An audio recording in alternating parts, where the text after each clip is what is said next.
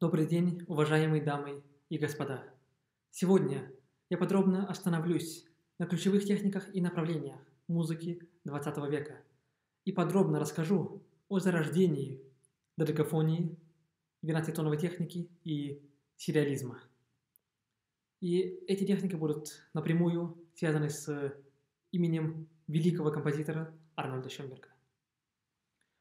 Кстати, когда я на прошлой лекции говорил о ключевых открытиях в науке, произошедших на рубеже 19 и, 19 и 20 века, э, это расщепление атома Эрнестом Резерфордом, квантовая механика э, Нильса Бора, Эрвина Шрёдингера, Поля Дирка и Макса Планка, теория относительности Альберта Эйнштейна, которые привели к качественному скачку в восприятии структуры мироздания у всего человечества, они привели и к качественному скачку в развитии музыкального искусства. Вот тут интересная деталь, что, как всем известно, великий Альберт Эйнштейн был блестящим скрипачом. И говоря об уважении Эйнштейна к музыке, э, об этом даже говорит сама фраза. Альберт Эйнштейн про музыку Моцарта сказал. Музыка Моцарта настолько чиста и прекрасна, что я вижу ее как отражение внутренней красоты Вселенной. Тогда как Макс Планк, один из э, основателей квантовой механики, который ввел само понятие квантования, Макс Планк был блестящим пианистом, и в юности он даже выбирал пойти по пути концертирующего пианиста, лауреатом многих международных конкурсов по пианизму, или же вступить на стезю науки.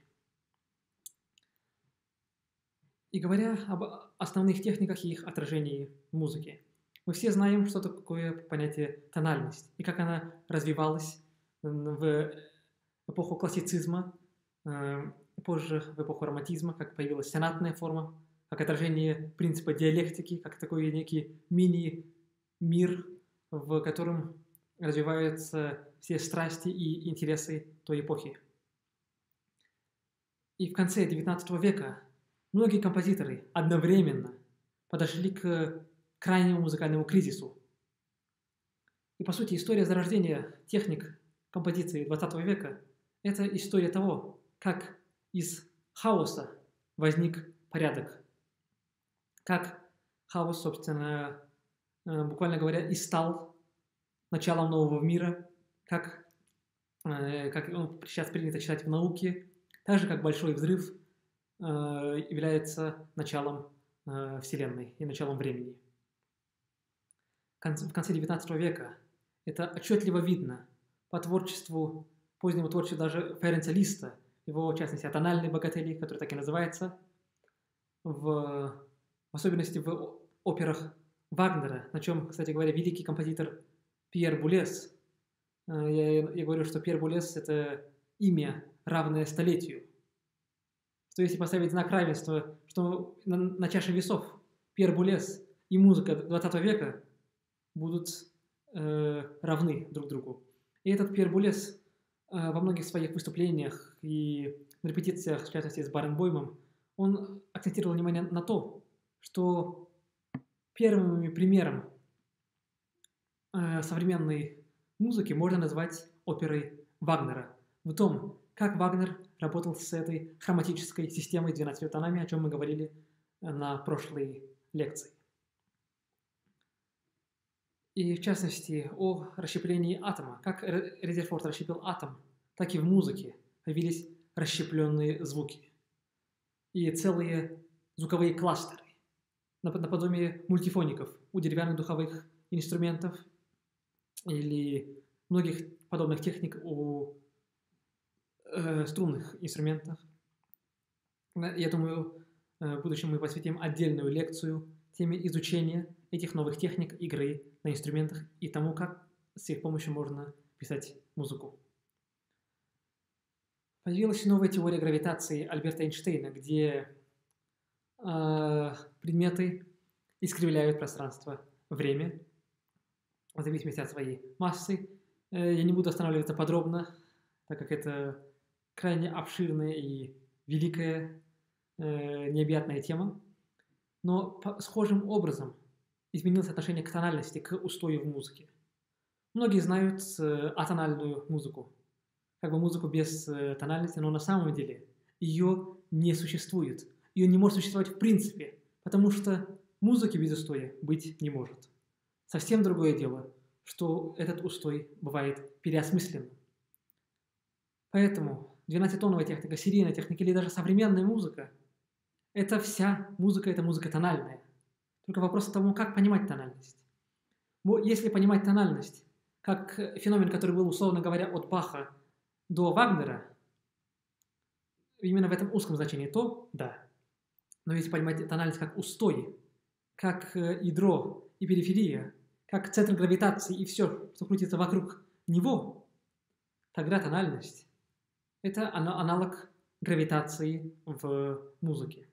И, к примеру, в музыке нововенцев, музыке Арнольда Шомберга, Альбана Берга и Антона Веберна, тональность приобрела новую форму, она стала модернизированной, соответствует новому духу времени, и этот анализ воплотилась в форме серии, серии из звуков. Чуть подробнее остановлюсь на этом позже. В сценаристике тональностью стали звуковые приемы. И сама структура звука стала настолько сверхмассивной, что получила возможность искривлять и подчинять под себя и драматургию, и концепцию, и гармонию, и все остальное, все остальные музыкальные параметры в произведении. Э, когда я беседовал с Тристаном Мюраем, мы не раз останавливались на то, что, например, я говорил, что музыка – это процесс во времени. И Тристан Мюрай сказал, что музыка – это архитектура во времени. И позже э, мы с ним пришли к тому, что даже спектральная музыка, если оценивать тональность как устой, то спектральная музыка – это тоже музыка тональная где определенный спектр и обертоны звука являются центром устоя и центром притяжения. Поэтому тональность есть в любой музыке. Сейчас остановлюсь и перечислю, на, перечислю конкретные и основные течения музыки 20 века. Несомненно, это в первую очередь додекафония, 12-тоновая техника, э, серийная техника, ее величайшие представители Арнольд Шомберг и его ученики Антон Веберн, Альпенберг. Неофольклоризм, где самым видным представителем является великий композитор э, венгерского происхождения Белла Барток. Неоархаизм, к которому относят зачастую Эдгара Вареза, который является совершенно уникальным феноменом музыки 20 века. Были, конечно, и обособленные фигуры, к чему творчеству Нельзя подходить с позиции одного стиля или техники, чье творчество э, слишком велико, чтобы его подгонять под чьи-то рамки. И эти имена – Оливей Мессиан, Игорь Стравинский. Позже был и структурализм, и интегральный сериализм Пьера Булеза, как развитие сериальной, серийной техники, его лучшие представители – Пьер Булез, Карл Хайнш Штохаузен, Луиджи Ноно. Если в свое время было Нововенская тройка, Шумберг, Берг, Вебер, то это уже Дармштадтская тройка, Булес, Штохаузен, Ноно. Великая школа итальянских композиторов. Луиджи Деля Пикколя, Джачинто Шелси, Лючано Берио, Франко Донатони, Сальваторе Шарину, Паустро Мителли, Иван Фидели, Александр Сальбиати и многие другие представители нового времени. Сахастическая музыка.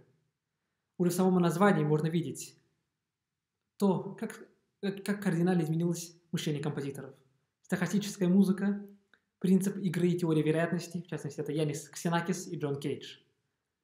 Сонаристика, один из явных его представителей, в особенности в жанре оркестровой музыки, Виталь Лютославский, шумомузыка, Хельмута Лахенмана, позже спектральная техника.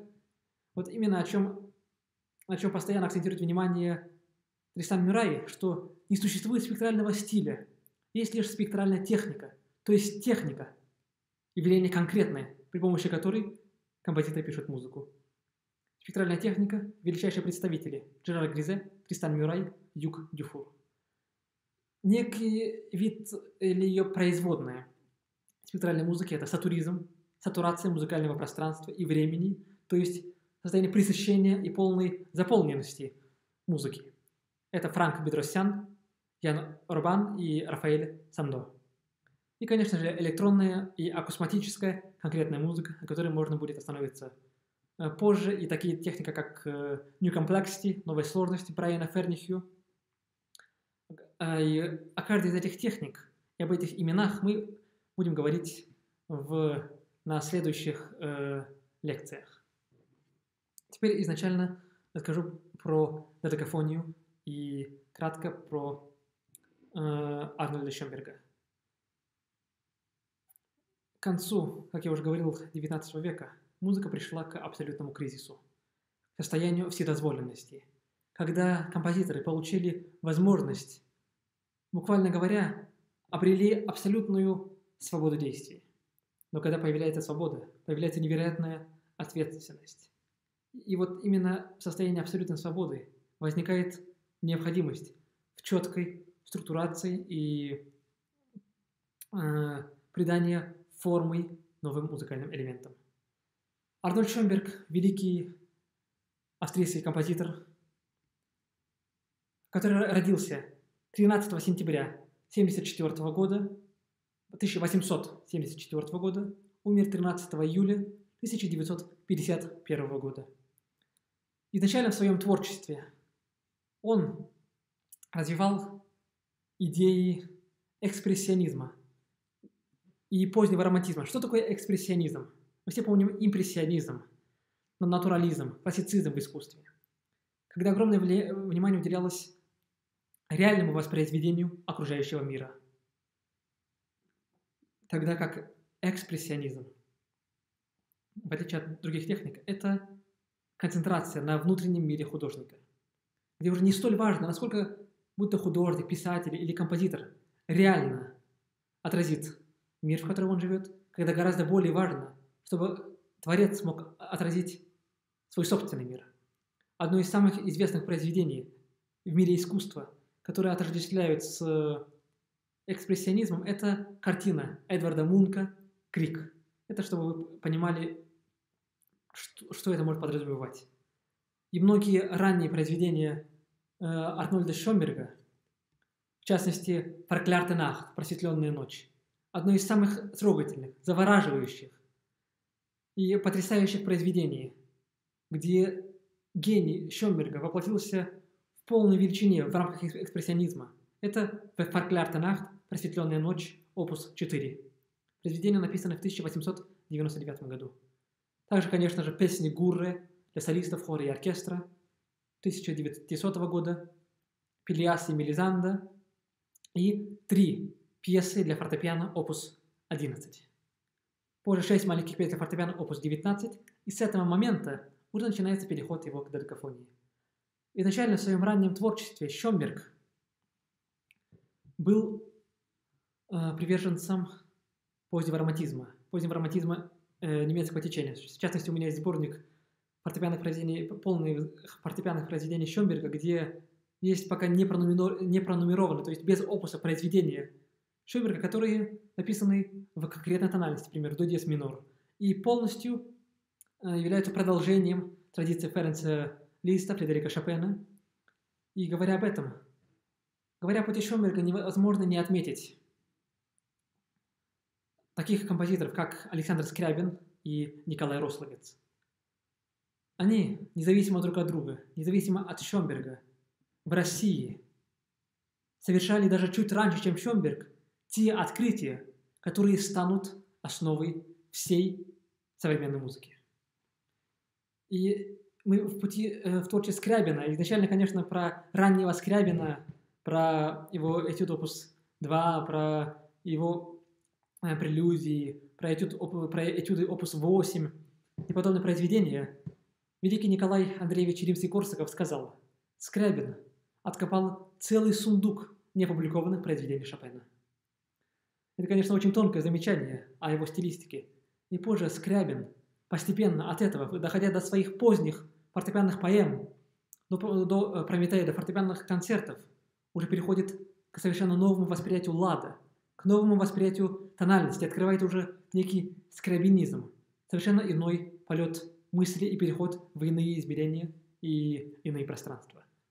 То же самое происходит с Николаем Рословицем, у которого эволюция творчества, творчества видно переход от позднего романтизма к совершенно новому стилю. Ведь не случайно Николая Рословица называют э, русским Шонбергом. И путь Рословица и Скрябина и Шонберга, а также корреляция между произведениями Бартука и Веверна показывает то, что если во времени конкретную историческую эпоху возникает необходимость в переменах, в новых идеях, то всегда находятся люди, которые станут их носителями и будут совершать своеобразные революции. О биографии и работах Арнольда Шонберга я подробнее остановлюсь на, на следующей лекции. Спасибо большое за внимание.